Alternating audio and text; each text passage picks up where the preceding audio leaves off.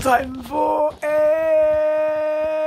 break. I've been sat here at my desk in my studio doing accounts all day. There's been so much spreadsheeting for this project, guys. I've spent weeks and weeks spreadsheeting in total.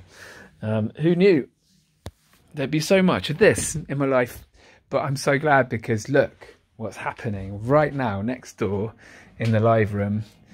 Um, got two absolute gorgeous humans doing the seeds. Hello. Look at this. How many packets of seeds have we got so far? Uh, we have about we're on 500. Uh, well, say like 400. We're on our yeah.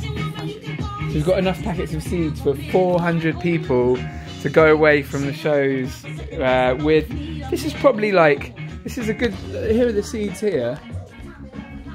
So in each one of these packets, there's um, there's a handful going in, isn't there? It's like Yeah, a It's like a generous pinch. a generous pinch. Yeah, yeah. enough for probably a hundred, few hundred wildflowers. Enough for a few hundred wildflowers. Check that out. So yeah, thanks guys. You're the bestest.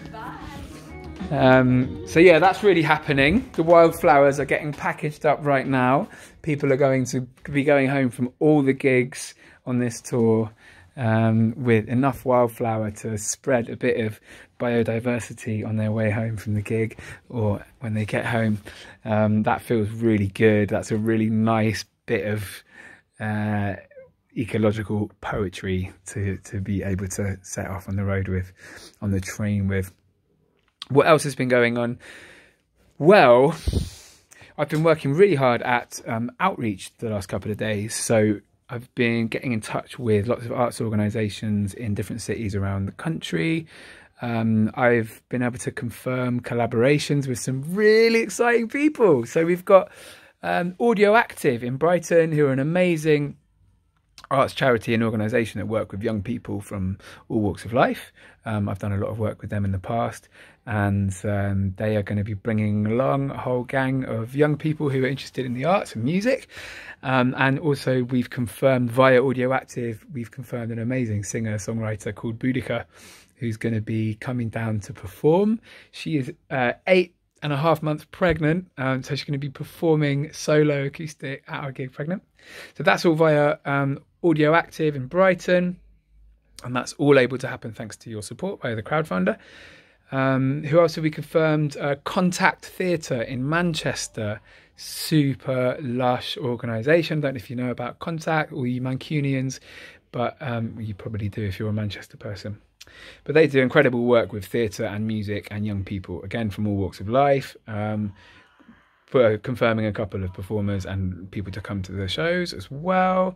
And what else have we got? London. Um, we are working with the Young Urban Arts Foundation in London, and they are going to be um, putting forward a couple of performers and also um, bringing a crew down. And also the Single Homeless Project as well in Southeast London are going to be bringing some people down as well. All thanks to your generosity through the crowdfunder. Um, anything else to report? That's it for now. That's what we've confirmed so far. I'll be coming back with more updates and reports. But uh, yeah, it's really happening, guys. This is really, really happening. Doing something good.